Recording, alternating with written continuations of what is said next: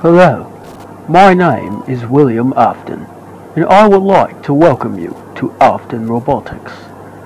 This gives you a chance to join today's biggest innovator in robotic entertainment and production. I'll be your guide to showing you what we do here. First, let's discuss background. I created Afton Robotics to show my robotic talent and superior intellect and share it with the world. I'm a family guy, a businessman, and most importantly, your friend. Don't think of me as a boss. Think of me as your peer. No need to be afraid. So don't be afraid to talk to me. You can't even let me babysit your kids.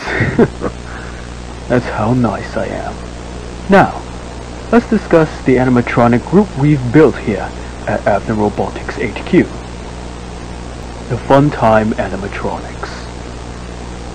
These animatronics are built for one major purpose. Entertainment. These bots will provide fantasy and fun to all the children that they meet. These animatronics can dance, sing, talk, and even walk. This series mainly focuses on interactivity.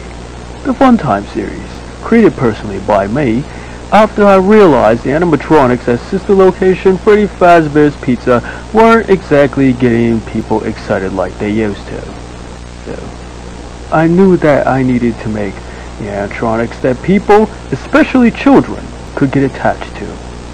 These animatronics can make balloons, take song requests, make ice cream, and can comfort any blind child that loses their parent. The animatronics in this series include Funtime Freddy, Bonbon included, Funtime Foxy, Ballora, Minireenas included, and Circus Baby, Bidybabs also included. I've decided to take the next level by making these animatronics have several internal and external devices that will make them seem more real to children, thus creating a more of a connection between the entertainer and the customer. These animatronics are also connected to a single network that controls choreography, and this network is run by me, of course, in my private office. And no, you can't go in. This concludes your introduction to Afton Robotics. Enjoy your stay. You won't regret it. Afton Robotics is not responsible for the death, dismemberment, or dis- Here's your kids are